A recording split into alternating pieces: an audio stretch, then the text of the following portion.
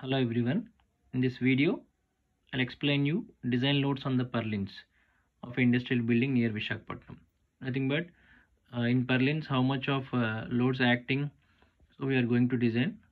So as per the given data, this is the data given class of building, terrain, maximum dimensions, width of building, height of the level. So like that permeability, everything was given. So while calculating this uh, in solution, the first one is dead load calculations. As per IS 875 part 1, width of sheeting including laps and connectors for uh, AC sheets that is asbestos cement sheets. So for that the code is specifying that 170 Newton per meter square to 200 Newton per meter square. So I am considering 170 and self weight of the purlin I assumed as 100 Newton per meter square. So total dead load on the purlin is nothing but 170 plus 100. I got 270. And spacing of the purlins is given that is 1.35 meters. So uh, dead load on the purlin we need uh, how much dead load acting on the purlin that is 270 into spacing.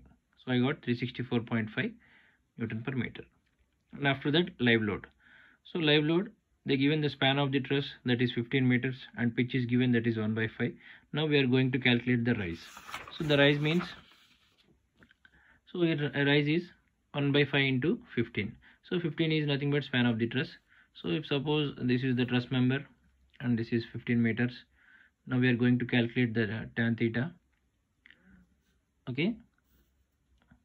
So this is tan theta formula opposite side by adjacent side. So opposite side is 3 meters and adjacent side is total is 15 meters. If suppose this, this is total total is 15 meters and half of this is 7.5 meters and 7.5 meters so opposite side by adjacent side. So theta equal to tan inverse 3 by 7.5. I got theta value 21.8 degrees. After that live load and purlin. Okay. So live load and purlin we uh, up to up to now we calculated the angle and live load and purlin as per IS 875 part 2. Uh, the code is providing some provisions. I mean these two provisions up to slope 10 degrees. We need to take 750 Newton per meter square. But here our angle is I mean our slope is 21.8 degrees theta value. But here the code is specifying that more than 10 degrees slope. We need to consider this formula. Okay? Our value is 21.8 degrees. That's why I'm considering this second one. So live load on purlin is 750 minus 20 theta is 21.8 minus 10 this formula is available in IS 875 part 2 I got 514 Newton per meter square. So spacing of the purlins is 1.35 meters. So live load equal to 514 into 1.35. I got this value. Next, I am going to calculate wind load. As per IS 875, basic wind velocity near Vishakhapatnam that is 50 meters per second. So here I am calculating the risk coefficient and terrain factor and topography factor. So K1, K2, K3.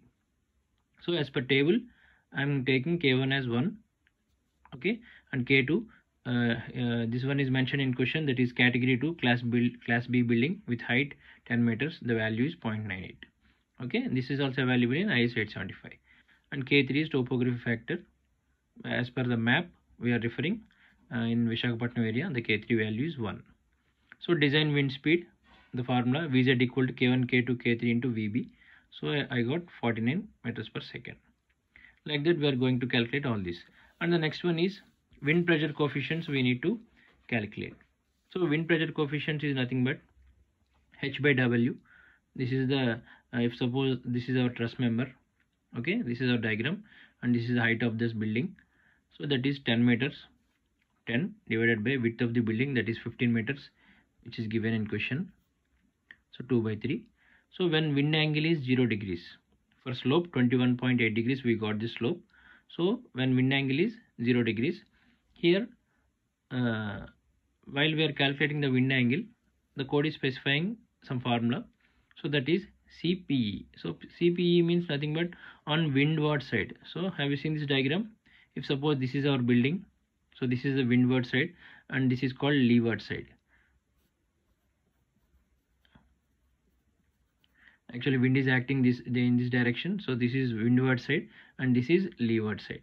Okay so I'm using interpolation by the tabular form. Uh, I'll show you the tabular form. Okay. In this tabular form, the values are there the same diagram I have taken here have you seen this this is windward side and this is leeward side by using these values if suppose this is 10 meters our building height is 10 meters okay and 0 degrees angle so i'm going to interpolate these two values okay? So like that we are going to calculate the cpe value here. Okay? 0.7 plus 1.8 by 10 into 0.5 so 1.8 is nothing but 21.8 minus 20 and 20 minus 10 because our value is in between 20 into 20 in between 20 to 10 because 15 meters is our value. So we are going to interpolate uh, 20 I mean 10 value and 20 value. Okay? Like that we are going to solve this one by using interpolation. So I got minus 0.61 after that on leeward side I got uh, minus 0.5 as per table. And next when wind angle is 90 degrees. Here when wind angle is 0 degrees and wind angle is 90 degrees I got the value. Same interpolation I have done on wind side and leeward side. Okay? I got these two values. After that internal wind pressure coefficient we need to calculate. So for a building with medium permeability in question he mentioned that uh, the permeability is medium. Have you seen this?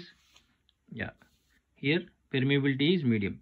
For that uh, uh, by referring IS 875 the code is mentioned that I have uh, I will show you the tabular form.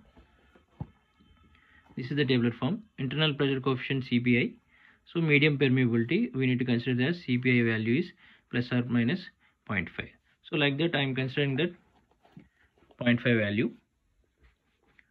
okay so the formula is design wind pressure on windward side that is F equal to CPE minus CPI into A into PD.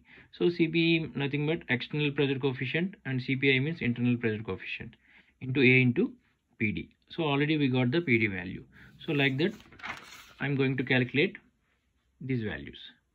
So area is nothing but we need to consider the external surface area. A is nothing but external surface area. But here uh, the width of the building is 15 meters okay and uh, span of the truss is uh, sorry span of the truss is 15 meters and width of the building is total uh, 10, uh, I mean height of the building is 10 meters here we need to consider as 150 but I took here from 15 half of this distance. I mean 7.5 into 10 I took. Okay? So for that purpose I got 75 as area. Remaining all values I substituted. So I got uh, minus 1468.0 Newton per meter square for leeward side and windward side minus 3240 Newton per meter square. For purlin design dead load plus live load equal to 364.5 added both the values dead load and live load I got 1.094 and wind load minus 3240 we got the value here into spacing of the truss that is 1.35 I got minus 4.374 that means hence purlin should be designed for. Ultimately we are going to design the loads the loads acting on the purlin so live load plus dead load of 1.05 kilonewton per meter acting vertically downward because we got the negative value. And next dead load of 0.365 kilonewton meter acting vertically downward on wind load of 4.374 kilonewton per meter because we got the negative value. That's why I wrote it as vertically downward. Okay? Like that we are going to design the uh, purlin loads.